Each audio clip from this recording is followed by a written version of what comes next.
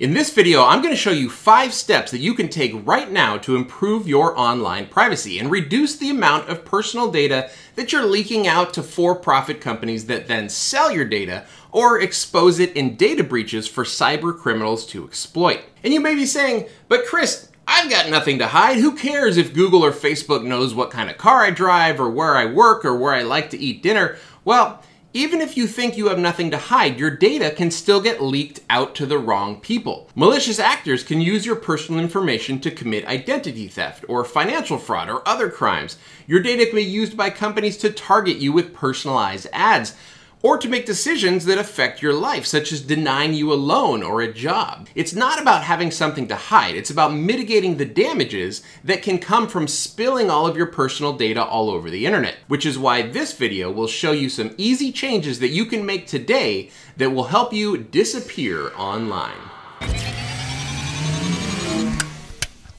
Did you know that Crosstalk Solutions has its own community Discord server full of tech enthusiasts just like you who love chatting with other like-minded folks, helping each other out by answering questions and troubleshooting issues. There's even a buy-sell trade section for your used computer equipment and networking gear. And if you're a Crosstalk Discord booster, you get access to your own private chat room with myself as well as the other Discord boosters. So come on in and join the discussion at discord.gg slash crosstalk Solutions. And if you're not interested in our Discord, you should at least take a moment to like this video and subscribe to Crosstalk Solutions for more helpful videos just like this one. It's absolutely one of the best ways you can show your support for the work that we've done here, and best of all, it's absolutely free. Before we start to beef up your privacy, let's sidetrack for a moment to talk about privacy versus security. These are two separate topics. Privacy deals with how much of your personal information is spread online and how to protect or hide that data. Security deals more with keeping your account secure. Two-factor authentication, strong unique passwords, and password managers are all excellent ways to increase online security, and they should absolutely go hand in hand with good privacy practices. But that's a different topic for a different video. Let me know if you want me to do a similar video on best practice online security down in the comments below. Okay, now on to my top five privacy tips. This video summarizes all of these tips, but for a deeper dive into each section, I've also created a blog post that you can find on crosstalksolutions.com slash blog. So if you want more info, as well as links to everything that I'm talking about here, click the link in the description and you can go straight to the source. The first and probably easiest thing that you can do to increase your online privacy dramatically is to switch to a privacy focused internet browser. There's a great reference chart on privacytest.org that shows you which browsers are best at blocking third-party ads and trackers, cross-site scripting, and have the ability to randomize browser fingerprinting. What is browser fingerprinting? Well, basically, when you visit a website, they can see all sorts of semi-identifiable information about you, such as your screen resolution, your operating system version, your computer hardware details. All of this information combined creates a unique fingerprint that can then be used to track you as you move from site to site. Randomizing browser fingerprinting means that your unique fingerprint now changes for every site that you visit, making you harder to track. Good privacy-focused browsers are also going to block ads by default, which makes surfing the web so much faster. It also conserves some internet bandwidth.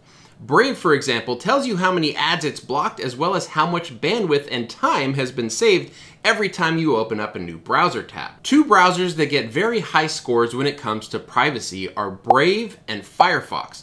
Brave in particular was designed specifically for privacy, and since it's built on the same Chromium engine as Google Chrome, it's essentially a drop-in replacement for Chrome users. All of the same add-on extensions that work in Chrome also work in Brave. Now to me, if you're a Chrome user, this is a no-brainer. I use Brave myself and I have found very little difference in my browsing experience, but I know that the Brave browser is on my side when it comes to leaking my personal information. You definitely can't say the same thing about Google Chrome. Now, Mozilla Firefox has similar high marks when it comes to privacy, but it isn't exactly a one-to-one -one replacement for Google Chrome because it's built on its own engine and it has its own separate list of add-on extensions and features. But when it comes right down to it, you really can't go wrong privacy-wise with either Brave or Firefox. Now, Brave and Firefox both have mobile device versions as well, but since we're talking about mobile browsers, I also have to mention DuckDuckGo, which is another privacy focused mobile browser that I personally use by default on my iPhone. Now I also have Brave installed, but I actually prefer DuckDuckGo on mobile. It's got some killer animations for clearing all tabs and data, which is always super fun to do. It also has a great feature for those cookie pop-ups that are all over the internet these days. With the Manage Cookie Pop-ups feature, DuckDuckGo will try to automatically set preferences to necessary cookies only, and then submit that selection so that you never have to see those pop-ups again. If you're stuck using Google Chrome or Microsoft Edge because your employer requires it or because you just prefer those browsers, there are still some things that you can do to increase privacy through add-on extensions. One of the best add-ons for blocking ads and trackers is EFF's Privacy Badger, which learns what to block algorithmically rather than blocking, you know, just like a human curated list of domains. Or in other words, since ad domains are constantly changing, Privacy Badger is primarily a tracker blocker. It also specifically doesn't actually block ads that aren't tracking you because they're trying to find a way to incentivize advertisers to adopt better overall privacy practices in the ads that they're serving. Some of the other traditional ad blocking extensions worth mentioning are AdBlock Plus, AdBlock, and uBlock Origin. These all do an excellent job of blocking ads and have many options for customizing block lists as well as adding exceptions for domains that you don't want to block. Now going back a few years, there was another must-have add-on extension called HTTPS Everywhere. This was also from EFF, the same people that make Privacy Badger. The purpose of HTTPS Everywhere was to rewrite all of the links that you browse to as secure HTTPS links rather than unencrypted standard HTTP links.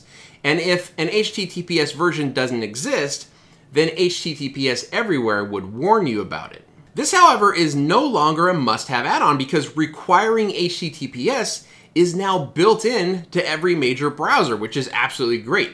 In Brave or Chrome, you can go to Settings, privacy and security, and then security, and you want to enable always use secure connections. You can do the same thing in Firefox and Microsoft Edge, uh, and you can check out my blog post for full instructions on how to do so. Let's also mention private browsing or private windows in your browser. All browsers have this functionality, but it's not really private per se. Using a private window simply means that anything you search for or any website that you surf to isn't cached and your search history isn't saved. But if you open a private window and then you log into Google to check your email or log into Facebook to, you know, stalk your ex-girlfriend and her new boyfriend Thad, I sure hope they're happy. Google and Facebook are still going to know who you are and what you're doing.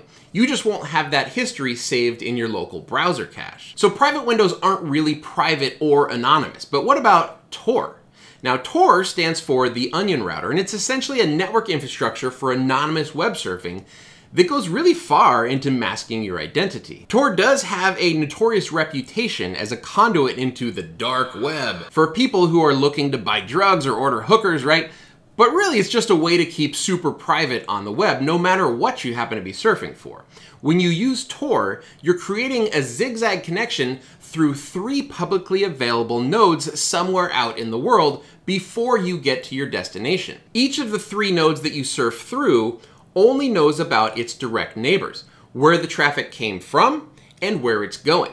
There's nothing linking you as the source with the destination website you're trying to get to. Now I could do a full video just on Tor, how it works and how to use it, but that's more than I'm going to get into here. Just know that when you're using Tor, you're much more anonymous, but it's also way, way slower. There's a huge performance hit when routing through the public Tor nodes. Tor has their own Tor browser, which connects you through Tor nodes automatically every time you surf the web, but the Brave browser, my preferred browser, has a private window with Tor feature that actually works pretty well. And while it anonymizes you much more than surfing to websites directly, it's just using Brave's features through the Tor node. So even Brave themselves pop up a warning that says, you know, if your actual personal safety depends on remaining anonymous, then you should use the Tor browser instead of Brave. The second easiest way to increase your online privacy is to use a privacy-focused search engine when you're searching things out on the internet. The big name search engines like Google and Bing, these they make their money off your data by serving you ads. The more targeted the ads they can throw at you, the better return for the advertisers who purchase the ads, right? So it benefits these companies to know as much about you as possible. Privacy focused search engines don't associate what you search for with any of your personally identifiable information. Now, every major browser has the ability to set what default search engine you get you use when you're searching for something via the browser bar. Brave, by default, has their own Brave search, but they allow you to pick from a list of alternatives as well. Another good privacy focused search engine is DuckDuckGo, the same folks that make that mobile web browser that I use on my phone. If you're a Google Chrome user, you can go to Settings, Search Engine to change the default. DuckDuckGo is actually one of the few default search engines that you can choose right out of the box, but you can also add others, such as Brave Search. And again, full instructions for how to do this are over in the blog post. My next tip is to ensure that you have enabled DNS over HTTPS, or DOH for short. Now, DNS is how your browser makes its way around the internet. DNS converts human-friendly names into computer-friendly IP addresses. So when you need to get to like crosstalksolutions.com, your computer queries its own DNS servers first, which then query external DNS servers until you're delivered the IP address of the website that you're trying to get to. When you make a DNS query, by default, that's unencrypted. So even if all data that's coming to and from a particular website is encrypted with HTTPS, the actual DNS query for that site might be visible to anyone who's listening into your network traffic. DNS over HTTPS is exactly what it sounds like. You're telling your computer to resolve DNS queries over an encrypted connection so that those queries can't be seen. All modern browsers support DOH, but it's usually not enabled by default. In Brave or Google Chrome, for example, you have to go to Settings, Privacy and Security, Security, and then you want to enable the Use Secure DNS feature. From here, you can pick one of the pre-existing DOH providers on the list, and again, full instructions for enabling DNS over HTTPS for all of the major browsers are in the blog post. My fourth tip for remaining private on the internet is to use a VPN.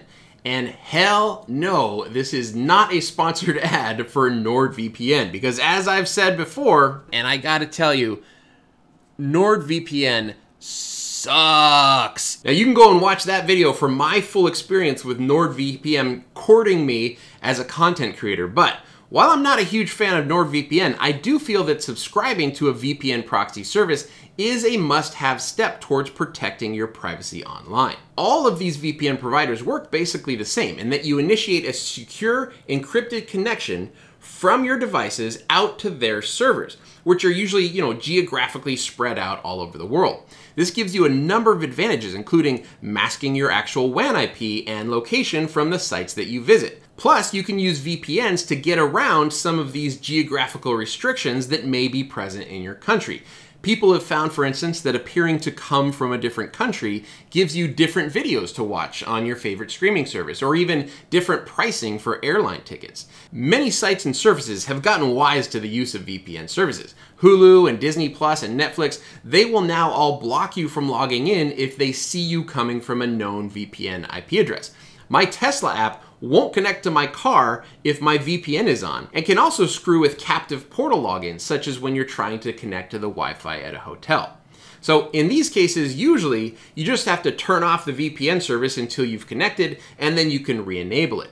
And knowing when your VPN connection is causing issues with your internet activities is just kind of like the learning curve that you have to go through when you're using a VPN proxy service. So then who do I personally like and who do I recommend? Well, this is going to be controversial because personally, I still use private internet access and I've had no issues with them whatsoever. Now, why is that controversial? Well, private internet access, ExpressVPN, and CyberGhost, these are among a handful of VPN service providers who were purchased by Kape Technologies a few years back. And Kape Technologies is a known adware and malware company.